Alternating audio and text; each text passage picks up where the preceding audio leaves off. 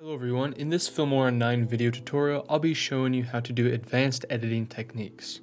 Once I've imported my files, I can simply drag and drop them into the timeline or press the add to project button, and if it's a different size, go ahead and click on match to media. So now we have our clip inside of our timeline, let's take a look at some advanced editing features. 1. Advanced color tuning. Color tuning means color correction, which helps you adjust the color and create high quality videos or images. You can choose from different options or presets and adjust them inside of Filmora. The presets option comes with many templates so you can directly apply them to your video very easily. And on the other hand, you can also go in and manually adjust the colors with the adjust options. 1. Access Advanced Color Tuning. After we brought in our video to the timeline, all we have to do is go to the color palette button right here and click on advanced color tuning.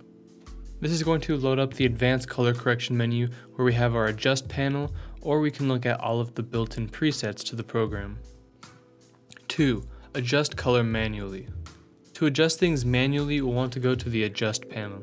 The first thing we can adjust is the white balance. This will change the overall temperature of your footage as well as the tint, whether it goes towards green or pink.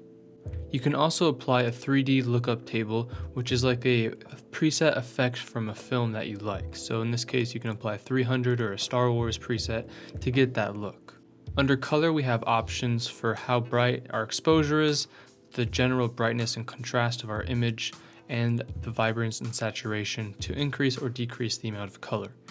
Under the light option, we have more specific controls where we can adjust only the highlights of our image, only the shadow parts of our image, only the whites, and also we have full control over just the blacks.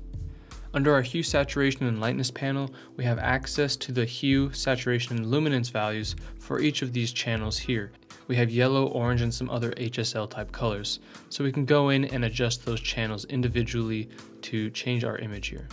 And under vignette, we have a custom vignette we can apply, whether it's black or a white vignette. We can adjust the size of it, the roundness, whether it's an ellipse or a circle, the amount of feathering, the exposure difference of the inside and outside, and also the highlight amount. 3. Preview your changes. When you finish all your adjustments, we can now preview our video.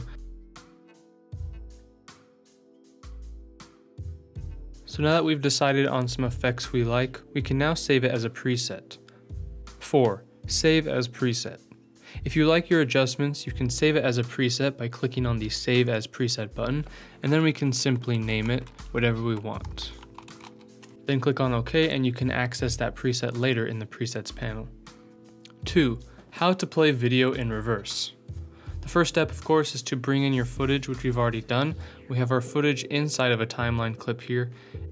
Two, in the timeline, we can simply right click on our video and select speed and duration. Then from here in step three, we can simply click on reverse speed and click on OK to save our changes.